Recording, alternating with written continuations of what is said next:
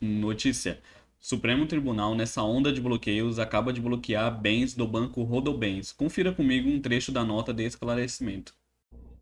Ainda sem acesso aos autos para as devidas confirmações, mas já antecipando em análise interna, identificamos que supostamente, dentre os caminhões, encontravam-se clientes com financiamentos na modalidade de leasing operacional, onde a propriedade é do banco e o cliente redatário tem a posse direta do caminhão e pode optar ao final do contrato pela aquisição do bem, ou seja, não são bens de uso banco rodobens, modelo semelhante ao praticado na locação de veículos.